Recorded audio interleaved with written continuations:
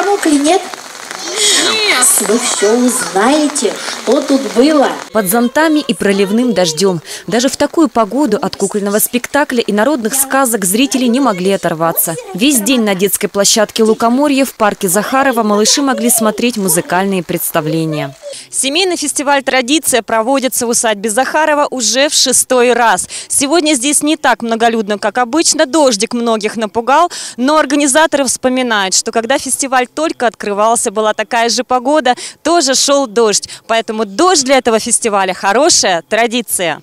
А традиция – это то, что нас объединяет, то, что не дает потерять связь времен и поколений, то, что сочетает в себе историю, культуру и современность. В этом основная идея фестиваля, говорят организаторы. Это традиция семейный фестиваль.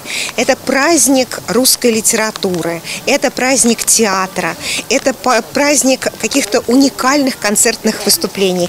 И сегодня мы не стали отступать от традиции, и наша программа подготовлена таким образом, чтобы наших жителей можно было чем-то удивить. Более 20 событий на пяти площадках парка. Сказки для самых маленьких, активные игры и мастер-классы, русские народные песни и хороводы, выступления знаменитых оркестров, оркестров, музыкантов и певцов. Традиция – фестиваль для широкой аудитории всех возрастов. Фестиваль этот э, чудесный, замечательный, потому что это праздник всей семьи. Сюда приезжают очень э, со своими семьями. Посмотрите, сколько много детишек у нас. Это всегда традиционно, это замечательно. Э, и здесь приходят и уже пожилые люди. Э, просто отдохнуть, отдохнуть, посмотреть, прикоснуться к Александру Сергеевичу Пушкину. Потому что маленький Пушкин здесь тоже все-таки вот прошли его детские годы. Посмотреть музей. Ко всему происходящему невозможно остаться равнодушным Солнечным. В усадьбе, где провел детство маленький Саша Пушкин, царит особая атмосфера. Прекрасное место, независимо от сезона и независимо от того, что здесь происходит.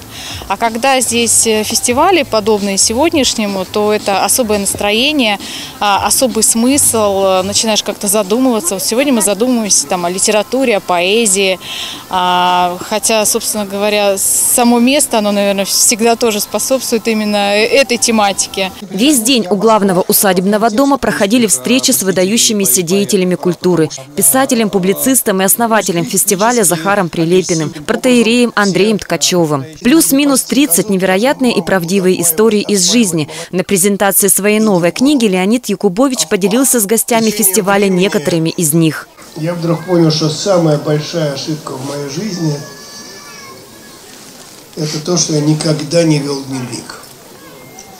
Вне зависимости от того, умею я писать, не умею писать. Просто надо было каждый день отмечать, что с тобой происходило.